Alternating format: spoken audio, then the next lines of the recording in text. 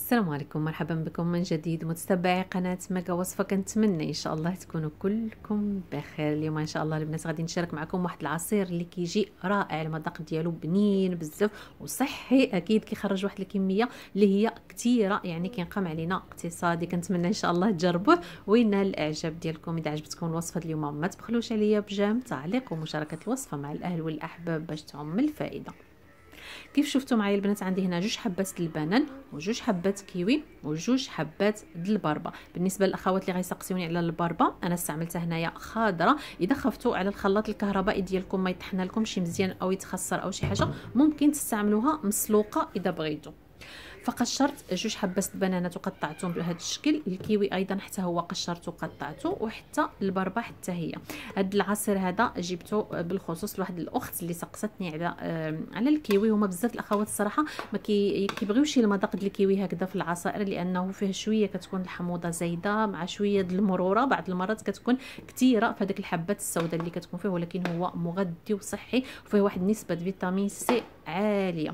فهكذا هكدي واحد الفكرة هكذا غادي نخففوا من الحموضة ديالو كيجي هذا العصير هذا تحفة وفكرة باش نستغلوا المهم الكيوي فوضعت جميع المكونات كيف كتشوفوا مع بعضياتهم. وغادي نضيف عليهم عصير البرتقال. بالنسبة لعصير البرتقال أنا ضفت هنايا يعني لتر إلا ربع يعني 750 مليلتر ديال عصير البرتقال. ممكن تعملوا حتى لتر د العصير. أنا بغيتو هكذا خاطر إذا بغيتوه خفيف فكتعملوا أو ممكن تعملوا لتر مثلا نص نص لتر ديال البرتقال ونصف لتر ديال الماء. ماشي بالضرورة تعملوا آه يعني البرتقال هكذا